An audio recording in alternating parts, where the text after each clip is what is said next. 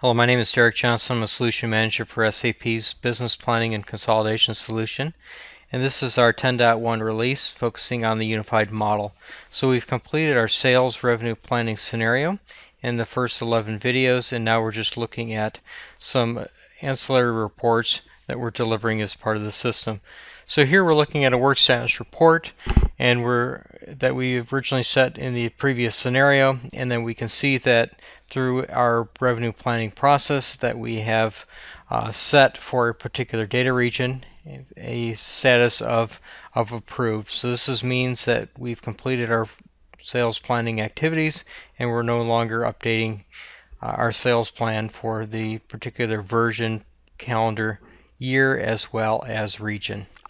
Uh, in addition to that, we're also going to look at an audit report, and we've set the audit flag for this particular uh, model at the uh, start during our original configuration, and you can see that we can now review the results and we can track the different changes that have been made with this planning process. So it's very easy to uh, not only track and monitor your process, but also be able to kind of further see what your work status is as well as data auditing at the end of your process as well.